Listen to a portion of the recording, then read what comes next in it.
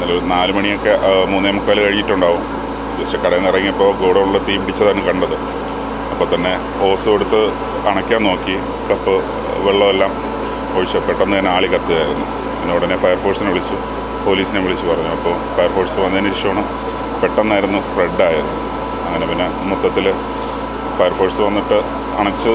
പക്ഷേ കുറച്ച് വഴി കുറച്ച് ഇതായത് കാരണം അവർക്ക് ആദ്യം ഒന്നും ചെയ്യാൻ പറ്റില്ല. പിന്നെ അവർ പെട്ടെന്ന് ഫാസ്റ്റായിട്ടെല്ലാം ചെയ്തു. പക്ഷേ എല്ലാം കത്തി നശിച്ചു ഇനി ഒന്നും ബാക്കിയില്ല. ഏതാ? ഇനി ഒന്നും ബാക്കിയില്ല. ഒന്നുമില്ല എല്ലാം നശിച്ചു പോയി. ഇൻഷുറൻസ് ഉണ്ടോ? ഇല്ല ഇൻഷുറൻസ് ഇല്ല. അങ്ങനെ ഒരു സാധ്യതയെക്കുറിച്ച് ആലോചിക്കാതിരുന്നത് എന്താ? ഇങ്ങനെ ഒന്നും നമ്മൾ അങ്ങനെ പ്രതീക്ഷിച്ചില്ല. അതാണ് അതിന്റെ. ഇനി ആദ്യം ഇത് തുടങ്ങാൻ? എല്ലാം ഒന്നും തുടങ്ങേണ്ടി വരും. അതൊന്നും ഈ ഇല്ല എല്ലാം ഒരു സാധനം എടുക്കാനില്ല. എല്ലാം നശിച്ചു പോയി. അങ്ങയുടെ ജീവനക്കാർ അവരുടെ കാര്യങ്ങൾ? ഇല്ല അവരെല്ലാം സേഫാണ്. ആർക്കും അപകടമൊന്നും ഉണ്ടായില്ല. അതാണ് ഏറ്റവും വലിയൊരു ഇത്. ഇതിനകത്ത് ഉണ്ടായിരുന്ന ആർക്കും ഒരു അപകടവും ഇല്ല. കണ്ടപ്പോൾ തന്നെ എല്ലാവരും കടയിൽ നിന്ന് വന്ന് എല്ലാവരും അണയ്ക്കാൻ നോക്കി. പക്ഷേ ഒന്നും സാധിച്ചില്ല. ഇതെല്ലാം കടന്നു. അങ്ങേക്ക് എല്ലാ ധൈര്യവും ഭഗവാൻ തരട്ടെ. കഴിഞ്ഞ ദിവസം നഗരത്തെ നടക്കിയ ഒരു അഗ്നിബാധ ഉണ്ടായ സ്ഥലത്താണ് ഇപ്പോൾ കർബാനൂസ് നിൽക്കുന്നത്. നഗര ഹൃദയത്തിലുള്ള വഴുതക്കാട് എന്ന് പറയുന്ന സ്ഥലത്ത് കുറച്ച് ഉള്ളിലോട്ടാണ് ഈ പ്രദേശം. ഉള്ളിലോട്ടാണ് എന്നുള്ളത് കൊണ്ട് തന്നെ രക്ഷാപ്രവർത്തനങ്ങളെത്താൻ കുറച്ച് വൈകി എന്നതും ഇവിടുത്തെ ഈ അപകടത്തിന് ആക്കം കൂട്ടി എന്നാണ് ഇവിടുത്തുകാർ പറയുന്നത്. ഞങ്ങൾ ഇതിന്റെ ഓണറുമായി സംസാരിക്കുന്നുണ്ട്. അദ്ദേഹം വളരെ തളർന്ന അവസ്ഥയിലാണ്. ഇനി ഒന്നും എടുക്കാൻ ബാക്കിയില്ല എന്നാണ് അദ്ദേഹം പറയുന്നത്. പ്രേക്ഷകർക്ക് കാണാം ഇതിന്റെ ചുറ്റുമുള്ള ഈ ദൃശ്യങ്ങൾ. പലതും പൊട്ടിപ്പൊളിഞ്ഞു കിടക്കുന്നു.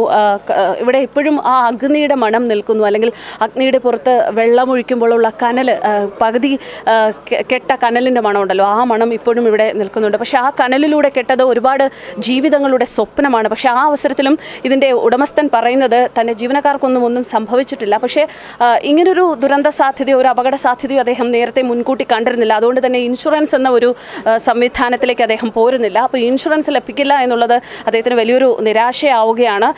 എന്തായാലും ഒരു ജീവിത സ്വപ്നമാണ് ഇവിടെ തകർന്നു കിടക്കുന്നത്. ഇതാണ് നമ്മുടെ ജീവിതം എന്ന് പറയുന്നത്. ഏത് സമയത്തും നമുക്ക് ദുരന്തം നമ്മളെ തേടി എത്താം എന്നുള്ളതിന്റെ ഒരു വലിയ തെളിവാണിത്. അപ്പോൾ എപ്പോഴും നമ്മളൊരു മുൻകരുതൽ നമ്മുടെ ജീവിതത്തിൽ ഉണ്ടാകണം എന്നതിന്റെ ഒരു മുന്നറിയിപ്പ് കൂടിയാണ്.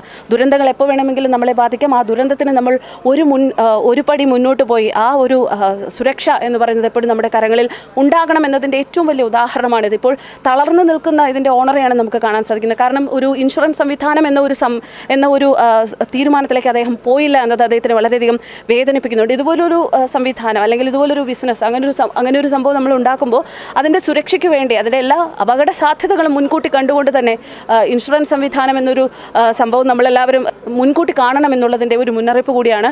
എന്തായാലും ഇതെല്ലാം താങ്ങാനുള്ള കരുത്തും ഇത് വിത്ത്സ്റ്റാൻഡ് ചെയ്ത് മുന്നോട്ട് വരാനുള്ള ഒരു കരുത്തും അദ്ദേഹത്തിന് ജീവിതത്തിൽ ഉണ്ടാകട്ടെ എന്ന് ഞങ്ങൾ പ്രാർത്ഥിക്കുകയാണ്.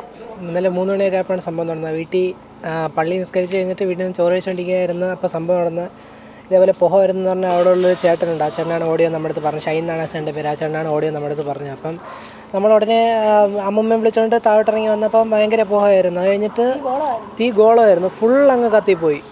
അവിടെ കത്തി ഭയങ്കര പേടിയായിപ്പോയി ഇന്നലെ. ഇന്നലെ രാത്രി ഉറങ്ങാനൊന്നും പറ്റിയില്ല. ഞാൻ വേറൊരു വീട്ടിലാണ് കിടന്നുറങ്ങിയത് ഞാൻ എന്റെ അനിയത്തിയായിട്ട്.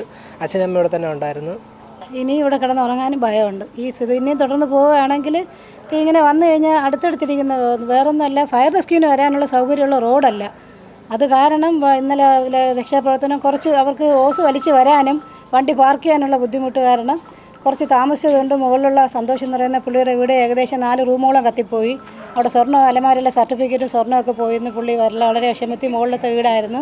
പക്ഷേ നമുക്ക് ഓടാൻ പറഞ്ഞ സമയം കറക്റ്റ് ആയതുകൊണ്ട് ഞങ്ങൾ ഓടിയതുകൊണ്ട് വീട്ടിലെ ഷീറ്റിന്റെ വെള്ളം പോകുന്ന ഓവ് മാത്രമേ കത്തിപ്പോയുള്ളൂ. അതിനുമുമ്പ് പരിസരവാസികളും ഫയർഫോഴ്സും വന്ന്. ആ വെള്ളം വെള്ളം ഒഴിച്ച് ആ ഓക്കെ അണച്ചതുകൊണ്ട് വലിയ ഒരു ദുരന്തത്തിൽ നിന്ന് ഒഴിവായി.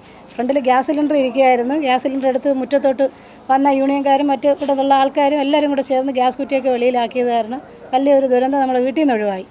ഒരു ഭയം തന്നെയാണ്. ഇപ്പോഴും ആ ഭയം മാറിയിട്ടില്ല. തീകോളവും തീയും പുകയും കണ്ട് പേടിച്ചിരിക്കുകയാണ്. അത് മാറിയിട്ടില്ല. മക്കളെയൊക്കെ അപ്പുറത്തെ വീട്ടിലൊക്കെ ആക്കി ഞങ്ങൾ അഡ്ജസ്റ്റ് ചെയ്ത് ഇവിടെ കിടന്നുറങ്ങുമായിരുന്നു. റംലയുടെ മുഖത്ത് ഒരു ചിരി ഉണ്ടെങ്കിൽ പോലും ആ ചിരി പൂർണമായും ആശ്വാസത്തിന്റെ ചിരിയല്ല. കാരണം ഈ റോഡ് നമുക്ക് കാണുമ്പോൾ തന്നെ അറിയാം. റംല പറഞ്ഞതുപോലെ തന്നെ ഫയർ റെസ്ക്യൂ സംവിധാനത്തിന് കയറി വരാനുള്ള ബുദ്ധിമുട്ടുണ്ട്. ദുരന്തങ്ങളെന്ന് പറയുന്നത് ആകസ്മികങ്ങളാണ്. നമ്മൾ വിചാരിക്കാതിരിക്കുമ്പോൾ ഉണ്ടാകുന്നതാണ്. ഇനിയും ഇങ്ങനെ ഒരു സംഭവം ഉണ്ടാകാതിരിക്കട്ടെ? ഉണ്ടായാൽ അപ്പോഴും ഇത്തരത്തിലുള്ള ഒരു ബുദ്ധിമുട്ട് ഉണ്ടാകില്ലേ എന്നാണ് ഇപ്പോൾ ഈ പരിസരവാസികളുടെ ചോദ്യം. എന്തായാലും ഇവർക്കെല്ലാവർക്കും സുരക്ഷയും സമാധാനവും ഉണ്ടാകട്ടെ എന്ന ഒരു പ്രാർത്ഥനയോടെ നമസ്കാരം.